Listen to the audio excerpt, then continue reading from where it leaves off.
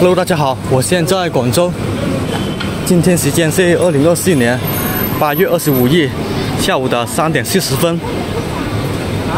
这个视频带大家来看一下广州街头最新的现状。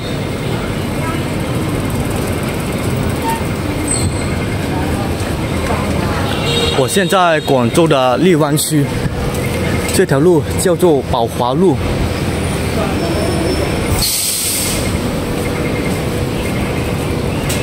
前方直走就是广州十分有名的上下九步行街了。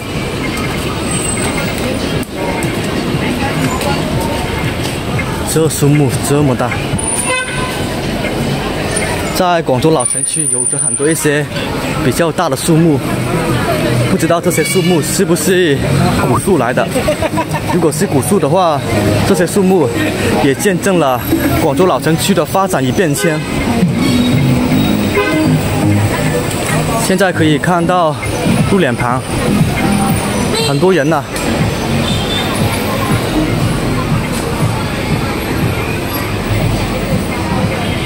前方的餐饮店每一家都是大排长队的，因为今天天气热啊。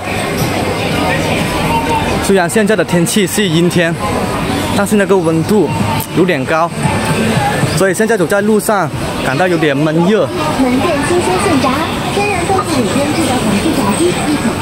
还有可以看到，逛街的人还比较多，因为今天是周末啊，所以很多人都有空出来逛逛街，放松一下。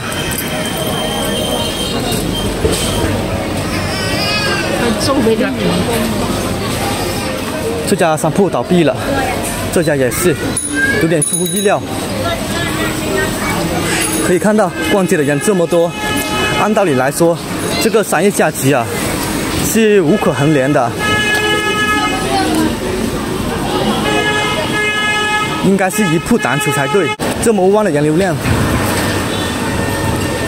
前方两家又是，虽然招牌没有拆，但是大白天的，不可能不营业吧？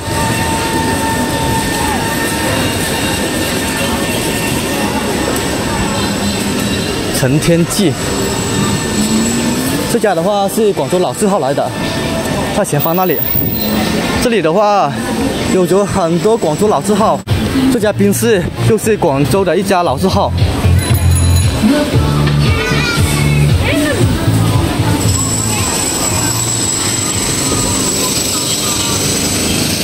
因为老城区是一个城市的灵魂所在。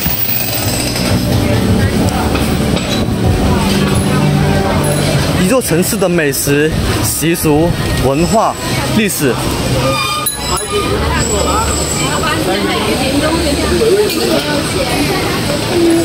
在老城区都能找到，在老城区都能找到，而且是最正宗的。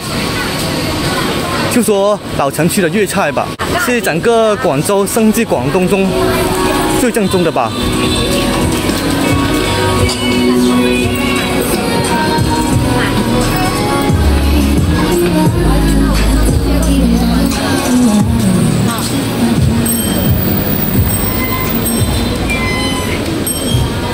现在来到八月尾了，这个暑假也差不多过完了，所以现在路上可以看到比较少小朋友了，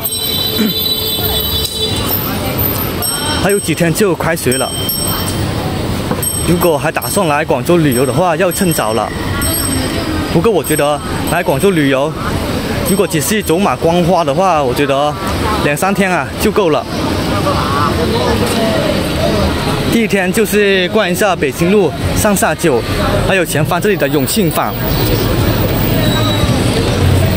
然后逛完之后就去珠江新城，看一下广州塔，拍个照。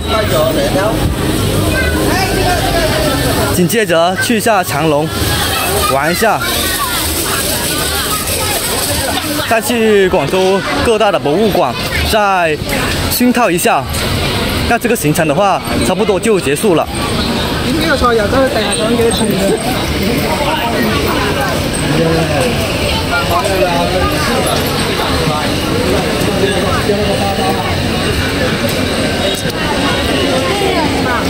其实广州的景点还是挺多的，不过论景点，广州还是比不上那些古城古都。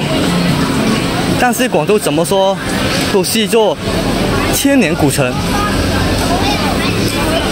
而且还是一座千年商都，所以的话是有着很多一些关于商业的一些文化遗址，这些文化遗址都是非常值得一看的。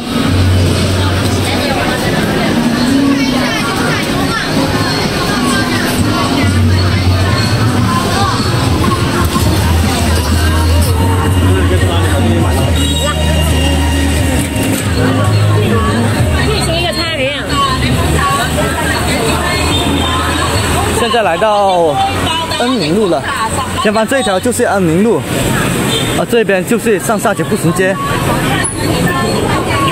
前方直走的话就是广州的永庆坊，上下九的话就不在那街逛了，因为上下九我拍了很多遍了，可以看到很多人都往这个方向去，应该都是去上下九的。现在可以看到上下九还是挺多人的。这个视频主要带大家来逛一下这个永庆坊。永庆坊是广州最近几年比较火的一个景区，它是复原了过去老时光的一些生活区，所以在里面的话，你可以了解到、认识到、发现到过去的广州城。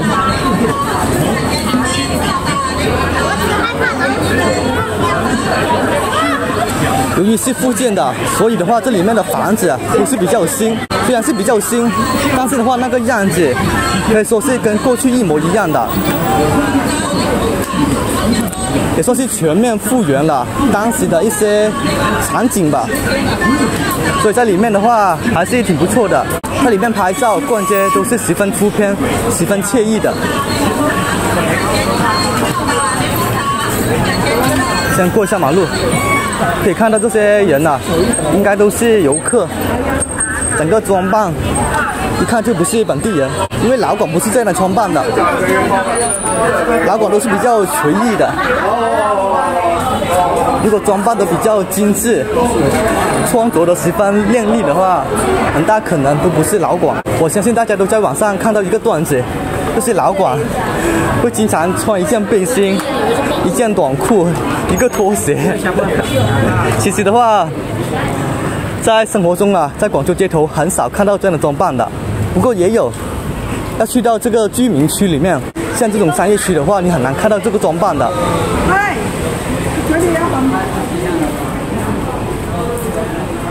永庆坊、